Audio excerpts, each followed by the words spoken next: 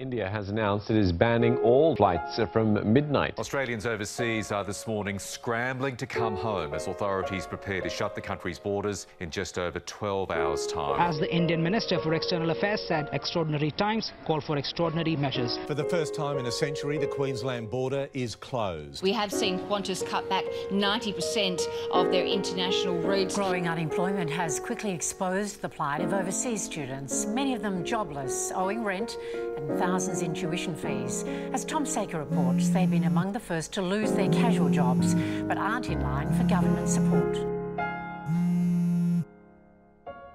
अस्सलाम वालेकुम मम्मी आप कैसी हैं हाँ वो कह रहे हैं कि अब आप अपने अपने मुल्क वापस चले जाएँ क्योंकि वो यहाँ पे बॉर्डर्स बंद कर रहे हैं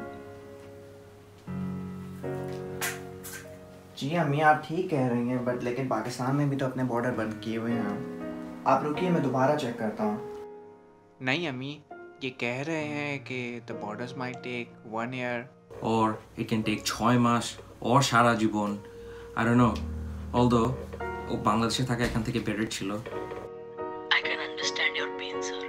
I know this is an inconvenience. So if there are no refunds available, can I at least get like another flight? No, sir.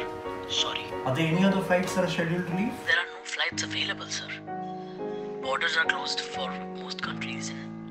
Sir, border के उस पार कोई जा ही नहीं सकता. You cannot cross the border, sir. I'm, I'm, I'm really sorry.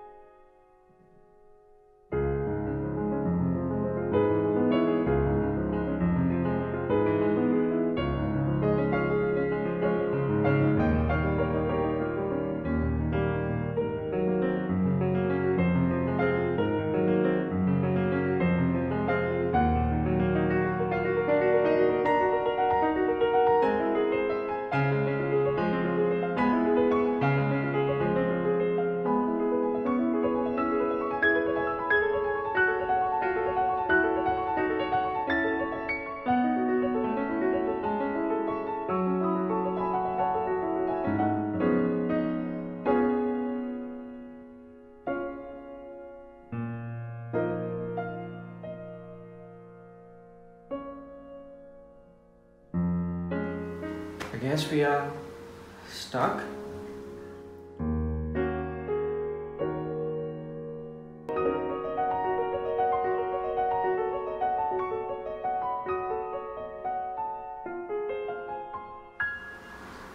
But we don't have to be.